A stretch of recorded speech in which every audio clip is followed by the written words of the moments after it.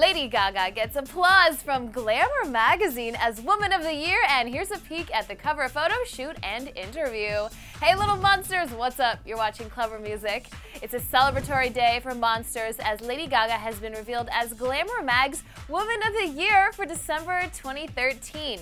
A behind the scenes video of the cover photo shoot sees Gaga in various looks for the magazine, including a mod blonde wig playing with blue orbs just like her ARTPOP album cover.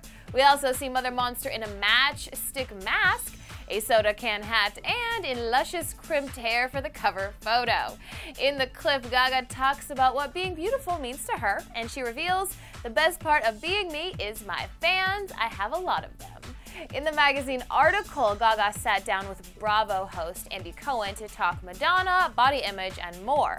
The Applause singer told Andy she considers herself beautiful, but not conventionally beautiful, and she still struggles with a body image disorder.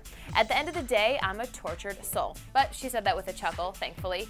So that explains all the big hats and masks that Gaga often hides under. The other revealing topic of the interview was regarding her idol and foe, Madonna, whom she's often compared to. Gaga questions Who's to say I'm anything like her at all? Who's to say that my ambitions are even the same as hers? Who's to say I'm not an entirely different person? Because I am.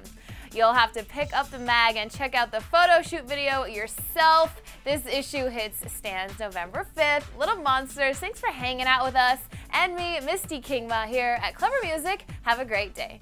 Today we are doing a look inspired by one of my favorite actresses, Nina Dobrev, which is inspired by one of her red carpet looks. And this is perfect for holiday parties, winter formals, and things like that. Now I'm gonna do the same thing on the other side, again, taking a section. So now you're gonna wanna kind of brush through these with your fingers so it kind of softens the look and makes it look less like Shirley Temple, yeah!